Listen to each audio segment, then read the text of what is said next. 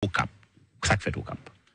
Mm. I'm sorry, oui, Okap. Padak apil lumye sou Okap? Ah, I'm sorry. Apil apil lumye sou Okap. Tout moun bral viv, se Okap, Okap pa Haiti, ah, tout moun bral se si. Aloske ou moun jenes ki chaje kreativite lot bo a, ou gen de moun ki an vi e vin vin lot bo a. Ou ki pe ya? Par en piyes, par en yi.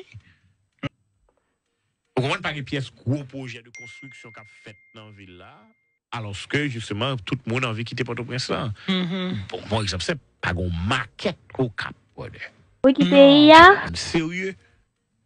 Non. On bral au cap une dans une corridor mais c'est m'a dit nous vérité ça veut dire pas un bon maquette standard dans au cap ça veut dire si gagne qu'on besoin c'est pour au prince pour aller chercher quand même alors qu'on ville cap cap bouger comme ça Ouais, cap grandi tout.